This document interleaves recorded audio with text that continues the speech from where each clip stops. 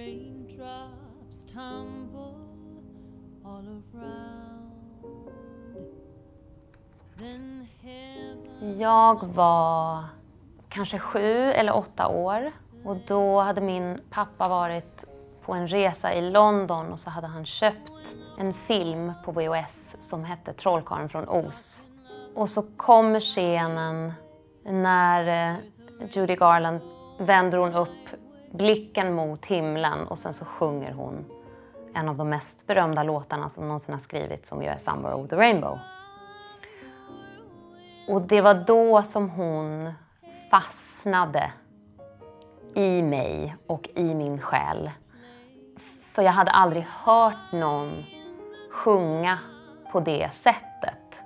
Och det var så mycket uttryck, jag kunde inte sätta ord på det då.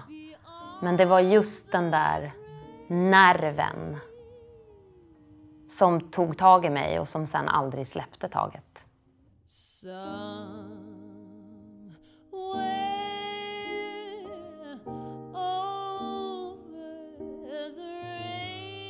Jag har liksom räknat dagarna fram tills att Judy Garland skulle fylla 100 år.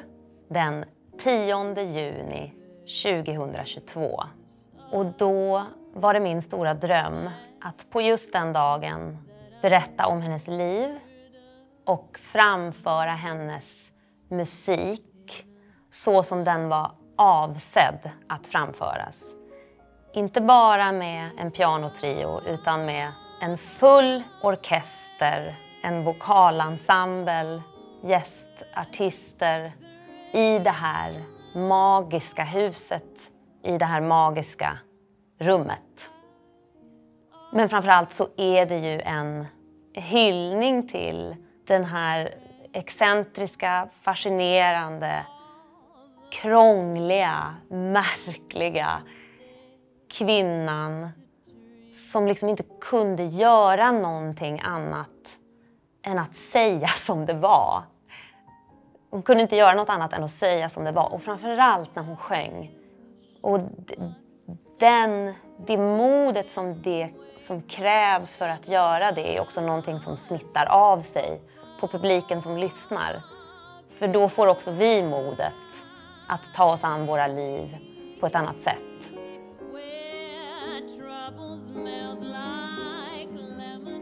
Det är så mycket livsglädje i den här musiken. Oavsett om man kan den eller inte, oavsett om man har hört det tidigare eller inte, så är det liksom ofrånkomligt att bli uppfylld av det. Det målar liksom upp världen och skildrar världen på det allra mest spektakulära sätt. Och om man har en orkester då kan man göra det ännu mer